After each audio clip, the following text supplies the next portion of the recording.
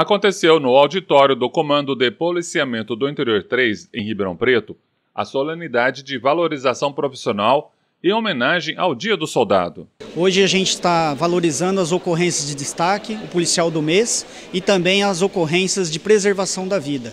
É uma solenidade mensal que a gente procura valorizar as boas práticas dos policiais que extrapolam até as unidades de, de treinamento. São aquelas ocorrências que realmente eles preservaram vidas ou é, conseguiram prender quadrilhas marginais que estavam afrontando a sociedade.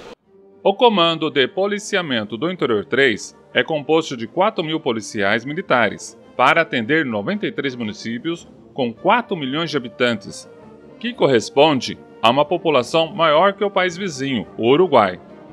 Um dos policiais militares homenageados foi o Tenente Bonfim, que recebeu a medalha de preservação da vida.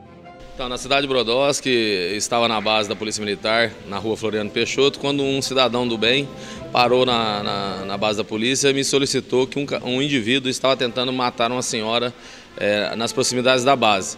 Nesse momento, é, eu saí já em seguida e deparei com o indivíduo com uma faca na mão tentando agredir a, a, a vítima, né? Nesse momento eu gritei para que ele soltasse a faca, ele obedeceu e a hora que ela viu que a faca saiu das mãos dele, ela pegou essa faca e veio para cima dele. Eu puxei ela para não agredi-lo. Nesse momento ela se virou contra mim, não percebeu que era a polícia e tentou dar, é, tentar contra a própria minha vida, né? Foi nesse momento também que eu consegui dominá-la, jogar ao solo, dominar, tirar a faca de sua mão e a equipe conseguiu algemar os dois indivíduos, levou até a delegacia e aí ficamos sabendo que esse indivíduo era, tinha suspeitas que ele teria praticado alguns homicídios na cidade de Batatais. Tadeu Donizete para o Ribeirão Web News.